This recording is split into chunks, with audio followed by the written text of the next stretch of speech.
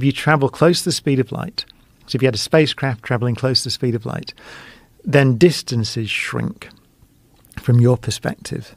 So, and the, one number I always have in my mind is that the Large Hadron Collider at CERN, the protons go around the ring, which is 27 kilometers in circumference, and they go around at 99.999999% the speed of light. So close to the speed of light. At that speed, distances shrink by a factor of 7,000. And so that ring is something like four meters Whoa. in diameter uh, to, to, the, to the protons. Whoa. So, so it, according to laws of physics, if you can build a spacecraft that goes very close to the speed of light, you can shrink the distance to the Andromeda Galaxy and therefore the time it takes to get there by a, an arbitrary an arbitrary amount. Actually, the closer you get to the speed of light, the more you can shrink it, and so you can make those two million light years.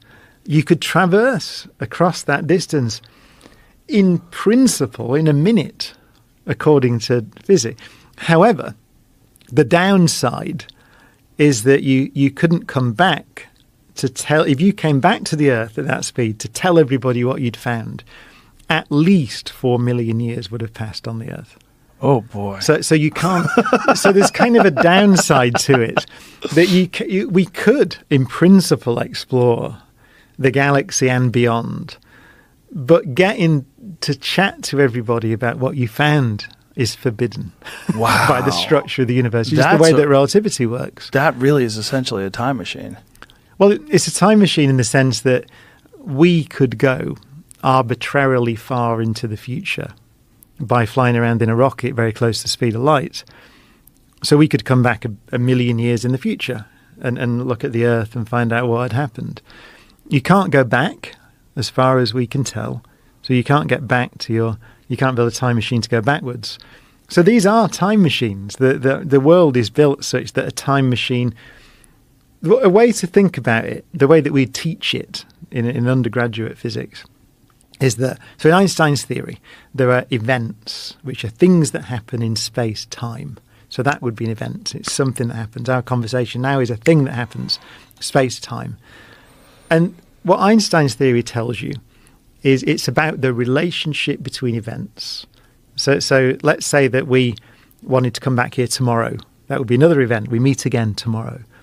And you can say how much time has passed between those events.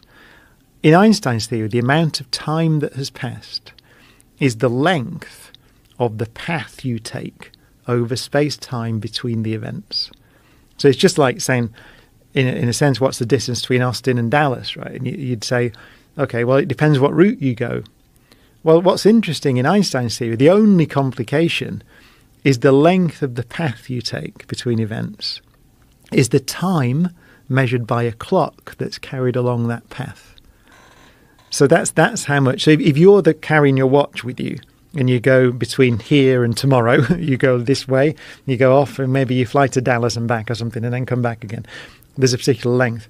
Someone else can take a different path, obviously, and so that a different amount of time will pass for them between those two things that happen, just because of that one fact. A as far as very we- infinitely small but measurable amount of time. it's a tiny amount, unless you travel. Someone goes close to the speed of light, or someone goes near a black hole or something where the where the space time is all distorted. Th- th- then you can get big effects, but it's still completely measurable. I mean, th- they are quite big effects. These, in the sense that for the satellite navigation system, for example, GPS, um, the, the clocks on the satellites tick at a different rate to the clocks on the ground, and it's a, a quite a big effect. I think from memory, it's something like thirty over thirty thousand nanoseconds per day difference Hmm. because of they're in, they're in a weaker gravitational field and they're moving and all sorts of things. It's the same thing, but thirty thousand nanoseconds. Light travels one foot per nanosecond. Which is great. I always say that God used imperial units because it's not. it's thirty point eight centimeters. It's one foot, right? It's good. It's one foot per nanosecond. So that's thirty thousand feet of position measurement if you drift your clock out by 30,000 nanoseconds. Mm. So it wouldn't work. So, so it's a big effect for when you start using time to measure distance, which is what we do in satellite navigation, GPS. So we have to correct. So the clocks have to be corrected for that effect.